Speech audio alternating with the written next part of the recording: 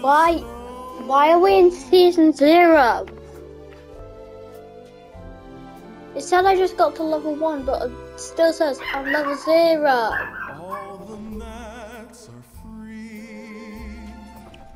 I think Winterfest broke Fortnite. I think my levels are gone. No!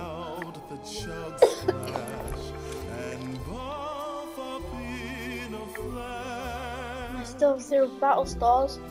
Although I did. Wait. Is the foundation. March 19th. Wait. Is yeah, that's when season ends.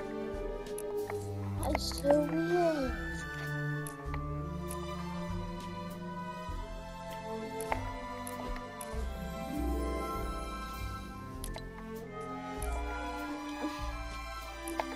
I'm not like a Winterfest symbol's gone.